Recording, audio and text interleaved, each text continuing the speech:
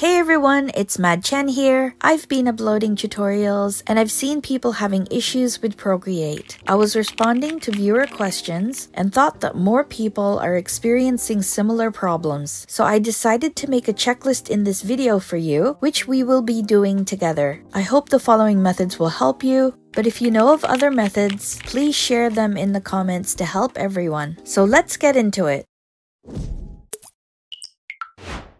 For method 1, I'm going to suggest deleting the Procreate app and reinstall it again. Please note that I only recommend this method for those who haven't created projects within Procreate yet, and also for those who have backups of their work. Procreate can be deleted by holding down on the app until you see things jiggle on the screen. Then you can tap the minus button here to delete it. Method 2 requires us to go into the iPad settings to update the iOS. Select General from the list on the left. Then tap on Software Update on the top right of the screen. This next page will tell you to update the iOS if you haven't already. At the time of this video upload, you can see that my iPad is up to date with the iOS settings. Method 3 is going to the Procreate page on the App Store and checking if an app update is required. You'll see either a blue button saying Update or Open right here. Tap on it if it says Update.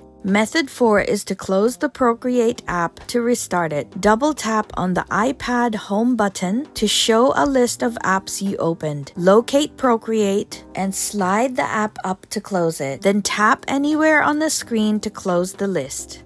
Method 5 is to restart your iPad. Each iPad model may have different buttons for restart. Check how to do that for your iPad model. You have correctly restarted your iPad when you see this on the screen, soon followed by the Apple logo. Then method 6 will require us to wait for Procreate to make another update to fix any bugs within the app. If you are still having difficulties, method 7 is to make sure we're using the right iPad model. The current version of Procreate is supported on these iPad models. If you know of other methods, please share in the comments below. I hope you're not having issues with the app, but if you are, please write your experience in the comments. See you in the next Procreate tutorial, and thanks for watching.